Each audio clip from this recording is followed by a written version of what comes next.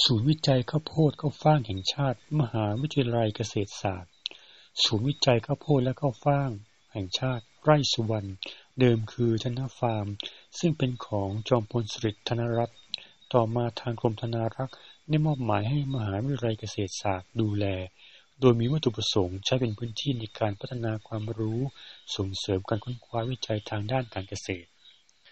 ศูนย์วิจัยข้าวโพดและข้าวฟ่างแห่งชาติไร่สุวรรณ พบว่ามีการปลูกพืชไร่ไว้เพื่อเป็นตัวอย่างจำนวนมากมายหลายชนิด ซึ่งบางชนิดแทบไม่เคยเห็นหน้าค่าตากันมาก่อน ที่จะถูกนำมารับประทาน เช่น งา เชื่อว่าคงมีหลายต่อหลายท่านไม่เคยเห็นต้นหรือว่าฝักของงา ก่อนที่จะถูกแปลงร่างกลายเป็นของกินอร่อยๆ เช่น งาคั่ว งากระจก งาตัด น้ำมันงาเป็นแน่ หรือจะเป็นปอที่ถูกนำมาใช้ในงานหัตถกรรมต่าง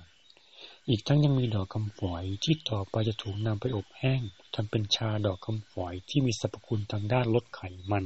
ลดความดัน หรือจะเป็นดอกไม้ที่ทุกท่านคุ้นเคยเป็นอย่างดีอย่างเช่น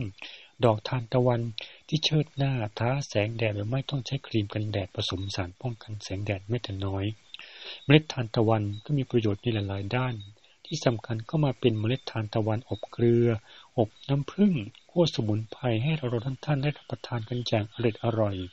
และสกัดน้ำมันได้จากเมล็ดทานตะวันเป็นน้ำมันคุณภาพดี มีราคาแพงอีกต่างหาก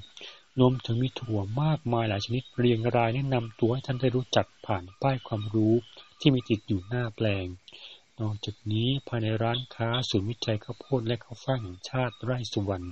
มีสินค้าทางการเกษตรและผักสดต่างๆ ให้เลือกสั่งมากมาย แต่ที่โดดเด่นก็คงไม่พ้นข้าวโพดหวานพันธุ์ดี แสนอร่อย ที่มีทั้งจำหน่ายเป็นข้าวโพดต้มข้าวโพดฝักดิบ หรือนำมาทำเป็นน้ำนมข้าวโพด ที่มีรสชาติหวานกลิ่นหอม ดื่มแล้วชื่นใจการันตีได้ถึงความนิยมด้วยคุณภาพขับแก้ว